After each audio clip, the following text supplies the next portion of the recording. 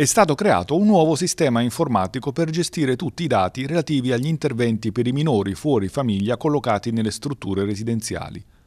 Una piattaforma online che consentirà a tutti gli attori impegnati nella tutela e nell'accoglienza dei minori di interagire in maniera tempestiva, facilitando quindi la comunicazione fra gli uffici centrali del Comune di Napoli, servizi sociali territoriali ed enti gestori delle comunità di accoglienza.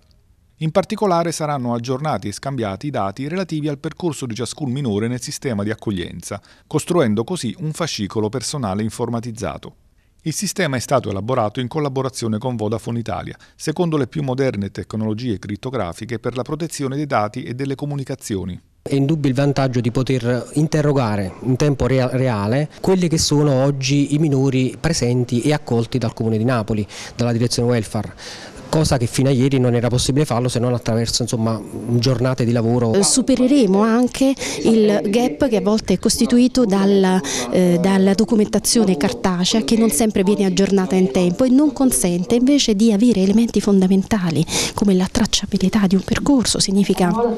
l'accesso eh, dei minori in comunità ma anche tutto il loro percorso, tutte le azioni intraprese eh, a loro tutela e anche percorsi di fuoriuscita consente chiaramente un'interazione in tempo reale dell'amministrazione comunale, del servizio politiche per l'infanzia e l'adolescenza e del settore welfare in generale con gli enti eh, che hanno eh, in affidamento proprio i minori.